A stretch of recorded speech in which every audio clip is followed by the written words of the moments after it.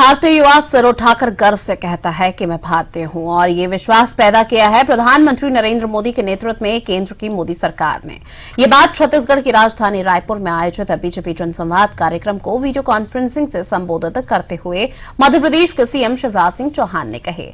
उन्होंने कहा कि देश का समृद्ध, वैभवशाली और शक्तिशाली बनाने का जो संकल्प संघ के नेताओं ने देखा था, उसे मोदी सरकार ने पूरा किया। इस मौके पर उन्होंने छत्तीसगढ़ की सरकार पर तंज भी कसा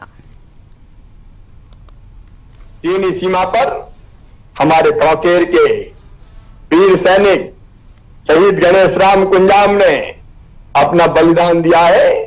मैं उनके चरणों में नमन करता हूँ। मध्य प्रदेश और छत्तीसगढ़ हो भारत माता के ऐसे जवान बिना हथियारों के चीनियों से भिड़ गए और सबक सिखा दिया। मध्य प्रदेश में हमने तय किया कि हमारा कोई ज़मीन जवान अगर शहीद होता है तो एक करोड़ रुपए की सम्मान निधि उस परिवार के सम्मान के लिए हम देते हैं। एक मकान हम देते हैं।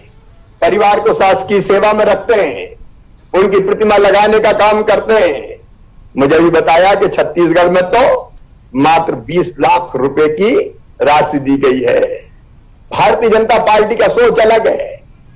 मैं अमर शहीदों का चारण, उनके यश गाया करता हूँ।